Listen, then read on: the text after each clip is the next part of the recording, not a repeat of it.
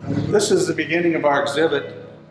What is this? It's a guessing game to bring lots of fun to our visitors, uh, and particularly to any children that may want to come.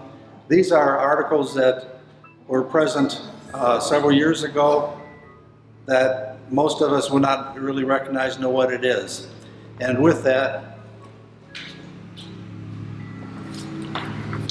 we have a little booklet here that you you will receive.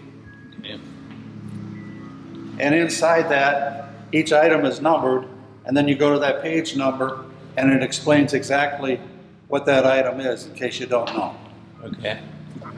For example, this here, item number one, is a lightning rod Okay. that was placed on top of barns and houses so that when lightning struck, it would hit the rod, there'd be a copper wire going down the side and into the ground. And that would take the uh, voltage from the lightning and save uh, the barn or the house from being burned down.